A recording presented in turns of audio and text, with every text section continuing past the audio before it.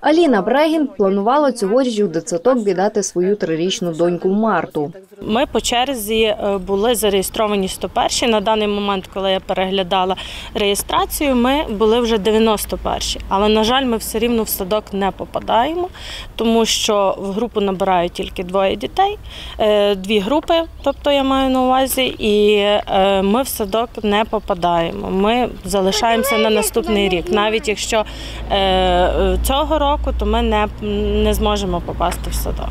Саме у цей садок зареєстрована донька Аліни Берегін. За словами директора закладу, потрапити сюди вона зможе лише коли звільниться місце.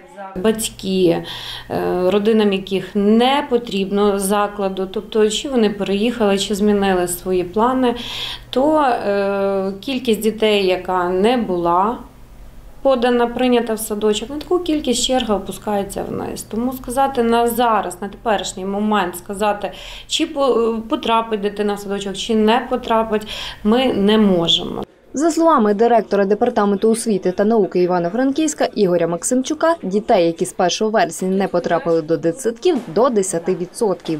Ті діти, які зараз не потрапляють е, до дошкільних освітніх закладів, у нас є створена в міській раді відповідна комісія, де батьки можуть подавати заяви е, відповідно департаменту освіти. І буде засідання комісії, яка буде розглядати ці заяви батьків, які не потрапили в дошкільні заклади, але які мають переваги до потрапляння в ці освітні заклади.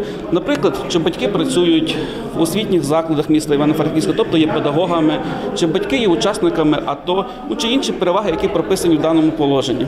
Галина Марійчина, Андрій Шостакевич, ЮА Карпати.